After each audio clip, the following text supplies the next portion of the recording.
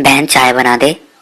नहीं, पिछले महीने की नौ तारीख को संडे के दिन तीन बजकर छप्पन मिनट पर तूने मुझे पानी देने से मना किया था।